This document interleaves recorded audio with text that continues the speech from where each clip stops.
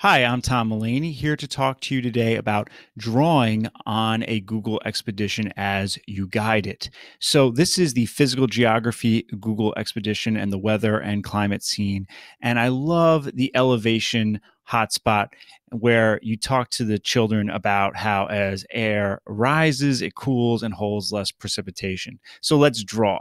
So, we click the draw tool and then what you can do is you simply draw, and I love to do this with the kids. I draw the air rising, and then on the other side of the mountain, I draw the little raindrops coming down. And that really kind of demonstrates, and the kids pop for it. They love it. Now, if I want to move around, I just untap that, and then I can move to my next hotspot. So I can go to topography and I can tap the drawing tool again and I can start drawing once more.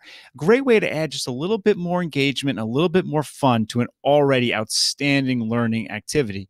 If I want to clear my board, I just tap reset and we're all done. It's all gone. Such a great tool, drawing on a Google Expeditions scene. If you have any questions about this, please comment below or tweet me at Tom E. Mullaney. Please like, share, and subscribe. Thank you so much for watching.